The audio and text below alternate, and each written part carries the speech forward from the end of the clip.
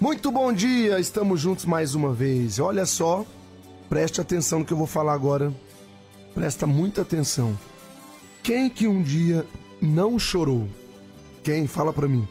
Todos nós choramos, né? Talvez hoje você esteja assim, chorando. Você acordou hoje com lágrimas. Eu não sei qual é o problema que você está enfrentando. Muitos são os problemas do, do dia a dia, muitos são problemas de hoje.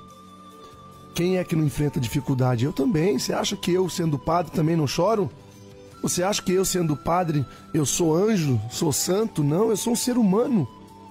Também tenho problemas, também tenho dificuldades. Tem dia que também acordo e, e choro. Fico triste, fico decepcionado, fico pensativo. Quem é que nunca, nunca chorou? É. Todos nós choramos.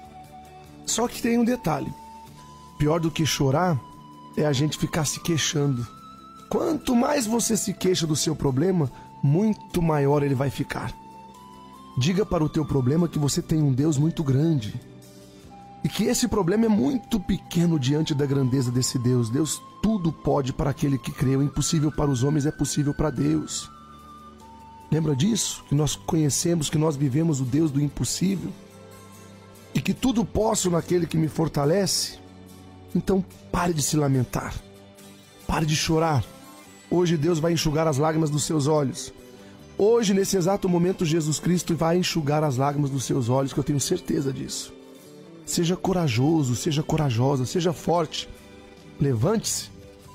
Levante-se, porque Deus te quer de pé. Deus não quer ver ninguém caído. Deus não quer ver ninguém destruído. Como é que está o seu coração hoje? Como é que está? Quero saber. Como é que está a sua família? Como é que você está? Vamos pedir a Deus hoje que Ele realmente abençoe você. Que recaia hoje a graça de Deus sobre você, sobre a sua casa, sobre a sua família. E deixa o Padre Alessandro rezar por você agora. Em nome do Pai, e do Filho, e do Espírito Santo. Amém. Deus de bondade, derramai a abundância da vossa bênção sobre esta pessoa, sobre esta família, sobre esta casa hoje. Santificai, Senhor, os seus moradores com o dom da vossa graça. Senhor, que nenhuma família termine por falta de amor. Que marido, que mulher não se traiam, nem traiam seus filhos. Que eles tenham a força de amar sem medida.